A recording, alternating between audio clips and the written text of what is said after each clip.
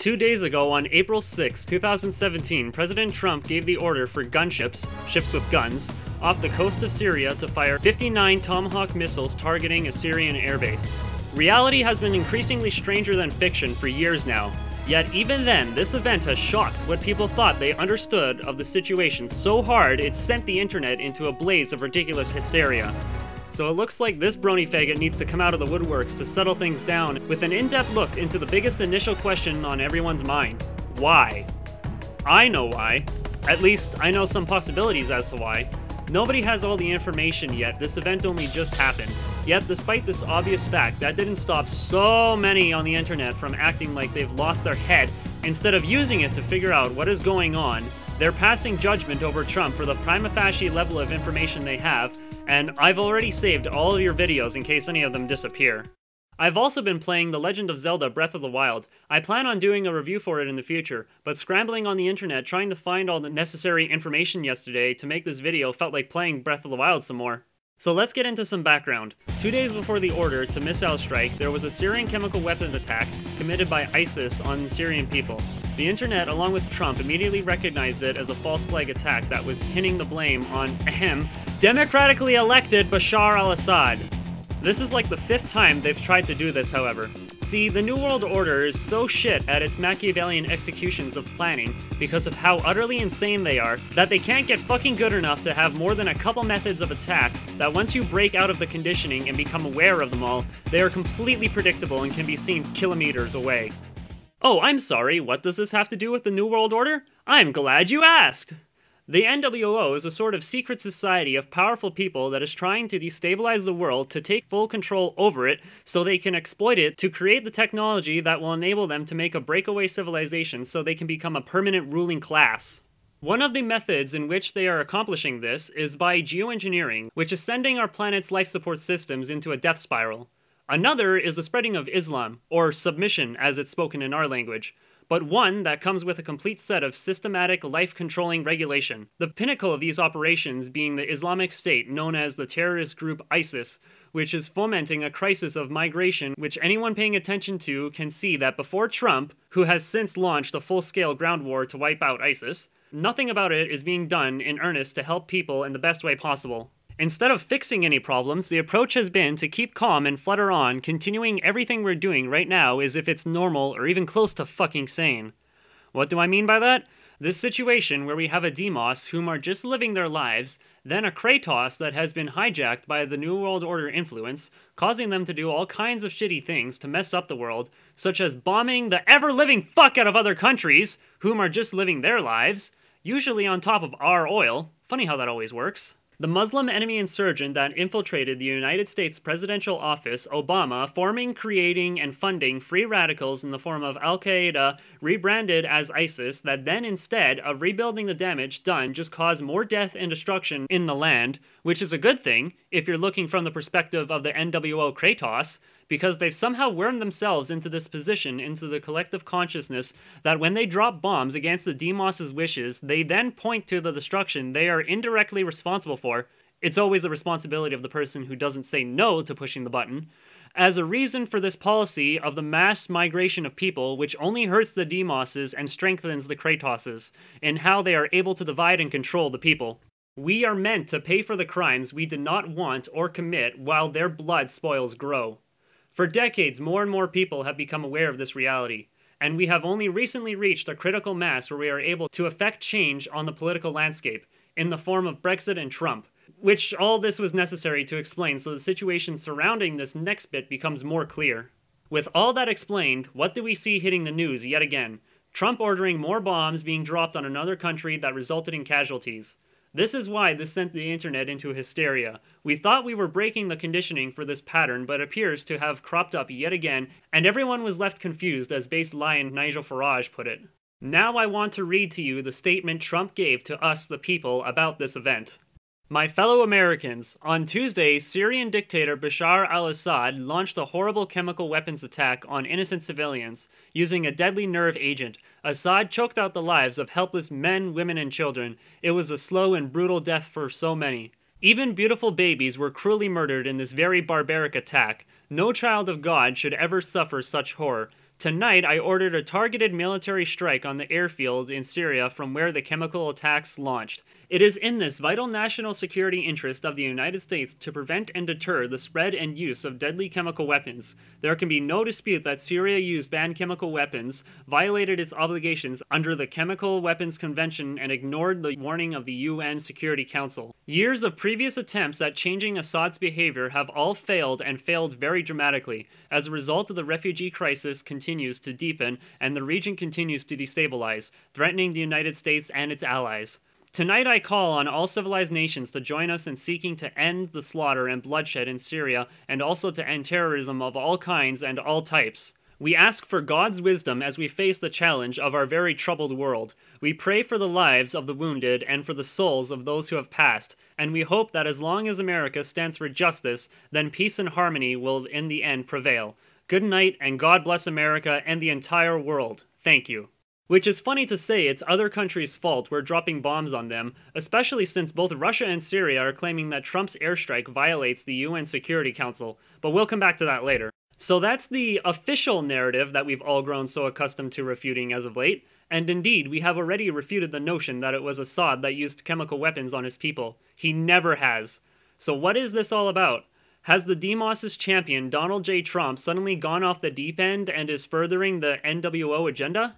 Quite the contrary, I think, because Trump may have just de escalated all of the global conflict tensions with this move. It might be akin to a world saving move here. These are some of the possibilities. Specifically, the warmongering for World War III, the ultimate destabilization event the NWO threw everything behind the cunt to try to achieve. Their efforts don't end with that. They have control over much still, and have turned to the communist dictator of China to be their figurehead for global government control. Remember that funny comment by the Chinese the Globe and Mail gave in my previous video that its propaganda machine has seized on the election of Mr. Trump as proof that its people should not aspire to the failed so called freedoms of democracy. The American political system that once was their greatest pride has constantly proven powerless to restrain the despicable conduct of incompetent politicians, writes a researcher at one of China's state run think tanks. Mr. Trump could not have put it better himself. Did anyone question when their domestic free press started cheering on the supremacy of another nation that you should all submit to? Hmm. Except we know they're a bunch of liars who are full of shit. Western democratic countries are far from true freedom of anarchy and archons. However, they are still decikilometers ahead in terms of freedom than anything China has to offer. That's why the plan has been to take down the US for the longest time, and they need another world war to do it. The cunt going to war with the nuclear power of Russia failed, so now they've turned to letting loose the mad piglet known as the dictator of North Korea, Kim Jong un, who has been firing missiles at Japan, whom are under the protection of the United States, landing off the coast of it and threatening to upgrade to nuke them and the US. Trump sent nuclear bombers to South Korea to get North Korea to stop, but they're even still firing missiles while the president of China is meeting with President Trump. Oh, yeah, have I not mentioned that yet? That's kind of the pivotal point of which all this surrounds, but it's going to require further exposition still, so bear with me. So to get into the details of the event, as I said before, there have been several exposed examples of chemical weapons attacks that tried to put the blame on Assad. This is done mainly so the United Nations can have an excuse to completely remove the secular government of Syria and replace it with more Islamic theocracies that they can then build oil pipelines through the province, but that's on the aside from Trump. Remember, Trump's biggest war has always been against the fake stream media. I'm changing it from fake news, though. doesn't that undermine? Very fake news. I know, but aren't you? We know he knows that their reports are fake. So why did he say in that statement earlier that there can be no dispute that Syria used banned chemical weapons? Can anyone say 4D chess move? Here's what happened. Years ago, under Obama, the same scenario happened and he struck a deal with Assad that, when evidence that Syrian forces had used chemical weapons to attack civilians emerged, the US declined to retaliate with military action, opting instead to broker a deal with the Assad regime that agreed to remove chemical weapons from Syria. That deal is one that Trump has now cashed in on with his Secretary of State, Rex Tillerson, told reporters that Russia had failed to secure the country's chemical weapons as part of an agreement negotiated by President Obama in 2013 to prevent US strikes, as he continues to clean up the massive swamp he inherited through the presidency. Syria has over 20 air bases, Trump fired 59 missiles at one airbase in Homs, 23 of which hit the base, destroying six fighter jets that were in repair. Crucially, the runway was left intact, though. The US warned Russia in advance of the strike, and they warned Syria, resulting in minimal casualties. Trump also warned all the nearby big players about the strike, even Saudi Arabia. You want to know who wasn't informed on this tactical strike ahead of time? China and North Korea. You want to know who set foot in front of the president inside of the United States immediately before the order to fire was given? North Korea's boss, China's president and wife and dignitaries. And that's what this is all about, Fillies and Gentle Colts. The art of the deal. This was Trump saying to China, hey, pay attention. You're our guest, but take us seriously. Now let's negotiate. And that is the big secret of this event everyone has been looking for. It's not that Trump has turned to the dark side of the military industrial complex, but that he hid his real reason for making the strike from the public. One of the few things he has hid from the public view, another major one being global geoengineering. The rest of the time, Trump's government has been unprecedentedly transparent and open on its actions over the public, which is a far cry from the previous enemy insurgent administration covertly bombing civilian targets like hospitals and then trying to pin the blame on others like Russia. Now, I hope there won't be anyone that needs me to explain this, but in case there is, the reasoning for why Trump did what I just said is so that his plan for negotiation could work. It wouldn't have been possible any other way at the moment.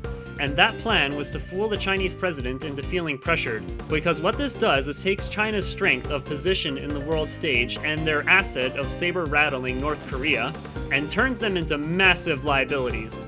How so? North Korea is at the mercy of China. This gives Trump the image of a loose cannon to be reckoned with, and none of your little laws or power games are going to restrain him.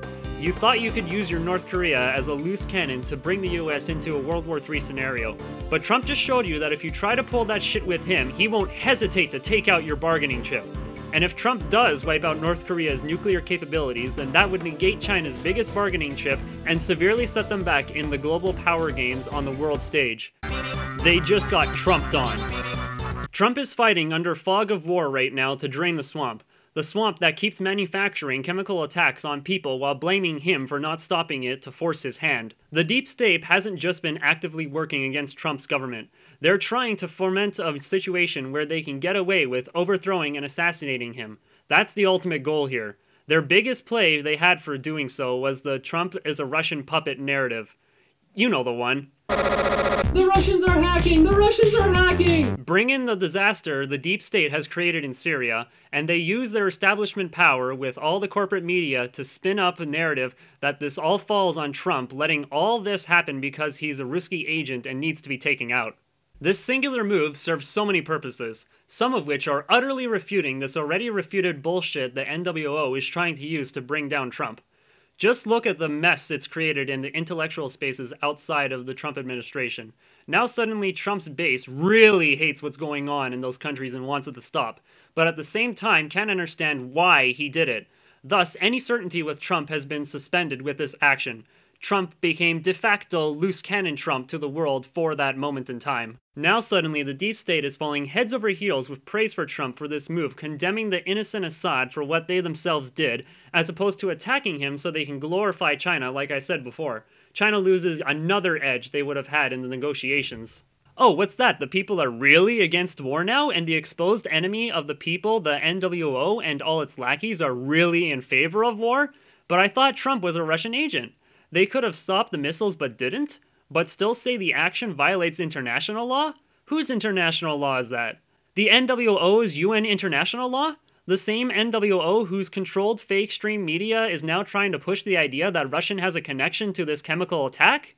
Who is on the fake stream media saying that? John McFucking Nigger! A known Russian agent, NWO satanic globalists, and their UN representatives. So what's going to happen? What does this all mean? This. I just want to say that President Xi and all of his representatives have been really interesting to be with. I think we have made tremendous progress in our relationship with China. Uh, my representatives have been meeting one-on-one with their counterparts from China, and it's uh, I think truly progress has been made. We'll be making a lot of uh, additional progress. The relationship developed by President Xi and myself, I think, is outstanding. We look forward to being together many times in the future. And I believe lots of very potentially bad problems will be going away. So I just want to thank President Xi for being with us in the United States. It's a tremendous honor for me and all of my representatives to host the president and his representatives. And again, progress has been made. Thank you very much. Thank you. Did you catch that line? I believe lots of potentially very bad problems will be going away. China is the final boss, before getting to the secret final boss. The NWO promised them to be the leaders of the 1984 world they are still trying to create. They would eventually be double crossed, Ocelot style, but for right now, they are the epicenter of the last bastion of hope for the NWO to take control over the entire world. And they thought they were still just going to waltz in and get away with bending Trump to their will with ease. Now enter populist patriot Trump, whom China's top guy is at the mercy of right now, and Trump is making these statements about their meeting. This signals to me that Trump's plan is having its intended effect of de escalating these games, while at the same time completely obliterating all the NWO narratives they have been trying to usurp his legitimacy as president with. Think of the situation in terms of a litmus test, much like the Brexit and Trump campaigns were that united populism against the enemies of the people, the NWO. And now we have this seemingly out of nowhere shock and awe for the world that puts it on another litmus test. See how ISIS and their backers bang the war drums for more bloodshed.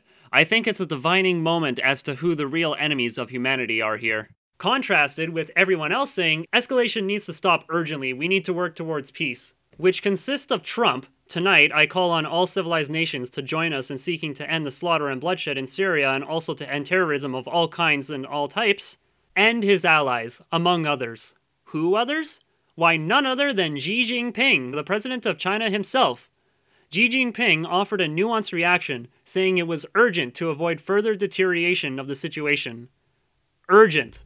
Why so serious, China? Why such a sudden change in tone, China? Couldn't have anything to do with the fact that you're in the eagle's nest right now without any NWO protection, could it? Hmm? With this move that has zero bargaining cost to Trump, he miraculously managed to get both the United States and China to publicly state they both want the same thing de escalation.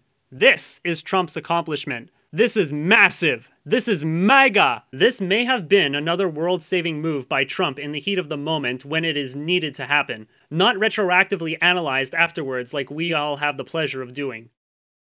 So that's the gist of things. There's still more stuff that bears mentioning, though. Russian bears, to be exact. So again, the strike did result in casualties, but warnings were given ahead of time so the area could be evacuated so no life needed to be lost. Life was lost from this strike, though, and that's because only 23 of the 59 missiles hit their targets. The rest reportedly went astray and ended up hitting some of the nearby civilian locations. This has Syrian girl Partisan especially upset to the point where she declared, which may result in World War III. I'm not even the one saying this. Trump is. That is the Trump before the deep state got to him. Well, some things about that. The United States, along with many other nations, has never stopped being a rogue state. People need reminding of this on a daily basis, but you're being fucking slow killed from global poisons all our nations are waging against life on this planet in the form of things like radiation and geoengineering. Recently, the leading cause of death in the UK became Alzheimer's and dementia. The second most technologically and medically advanced nation in the world's leading cause of death is now citizens going fucking insane and losing their memory? Are you kidding me? Am I the only one that sees a problem here? What's more, the deep state is still in charge of most of the United States government. We, the people, won one election to get one non NWO shill into that government. Luckily, we were able to take back the single greatest seat of power the nation has from which Trump has been able to fight one hell of a fight against the globalists. As for the missiles, why? Why did they go astray? Well, here's a possibility. Russia has anti air missile defenses in Syria, and it's confirmed that they were warned in advance of the strike that was targeting one airbase. 59 missiles is a lot for a single airbase. Could it be that the Russians decided to intervene in this strike and disrupt the missiles with jammers, causing them to miss their target and hit civilians instead? If that were the case, then Trump would not be directly responsible for the loss of Syrian life. Or do you all honestly believe that Donald John Trump has suddenly taken a liking to bombing civilians?